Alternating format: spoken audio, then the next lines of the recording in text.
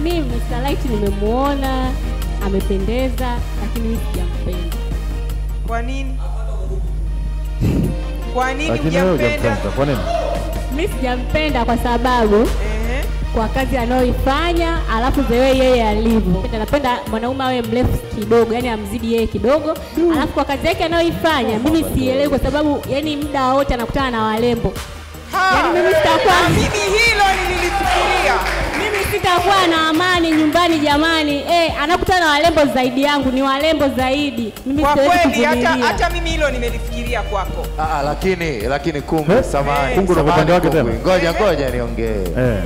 Kukutana na warembo unaweza ukakutana nao kokote pale. Milioni. Umenielewa? Kokote pale, haijalishi iwe sokoni, Kabisa. iwe ofisini, Kabisa, iwe kwenye kabisa, events, kabisa. eh? Na iwe barabarani. Mbona tunasimamisha sana mandinga sisi, Umeona, tunachukua eh? vyombo eh? Kwa kwa hiyo